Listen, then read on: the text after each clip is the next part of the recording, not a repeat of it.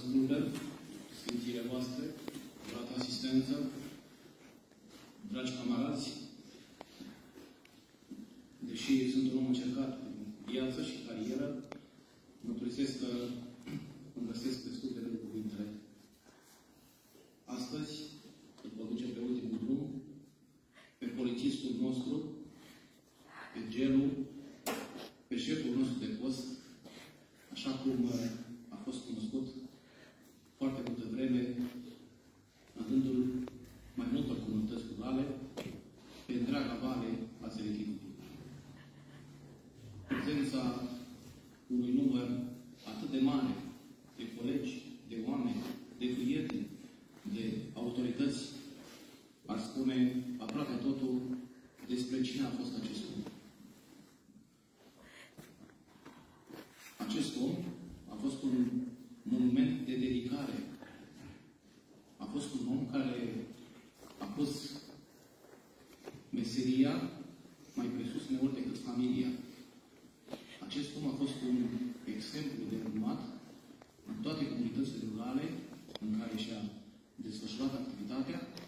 Acest om a format la rândul oameni, i-a instruit, iar meseria a pus-o mai presus uneori decât viața de familie. Polițiștii au un loc anume al lor în rai, pentru că își dedică uneori fără sacrificiu întreaga viață în slujba celorlalți oameni. Urmând exemplul tatălui său, absolvirea școlii militare, își începe serviciul poliționesc la o vârstă fragedă. În comuna Horgești, pentru scurtă perioadă, în comuna Filipeni, dar cea mai mare parte a activității sale, 14 ani, în comuna Parincea, ca ajutor șef de post și ulterior ca șef de post. Aș putea spune, ca om pe care l-am cunoscut, că a fost unul dintre cei mai mari și cei mai bravi șefi de post pe care poliția băcăoană i-a avut în ultimul timp. A format oameni, a format polițiști, a botezat și acest om nu a spus niciodată nu la cererile semenilor săi, indiferent că erau polițiști, indiferent că erau autorități, indiferent că erau prieteni sau oameni pe care i-ar fi cunoscut prima dată.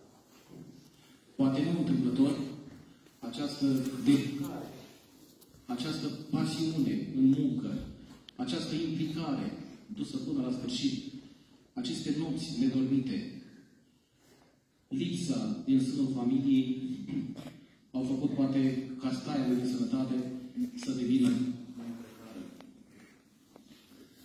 Onorată doamnă Stulbe, știu că cuvintele sunt de sus în aceste momente, însă nouă ne va face onoare și ne place să credem că dumneavoastră veți rămâne în continuare în marea familia polițiștilor și măcar unul din copiii noastre va urma exemplul tatălui și al bunicului.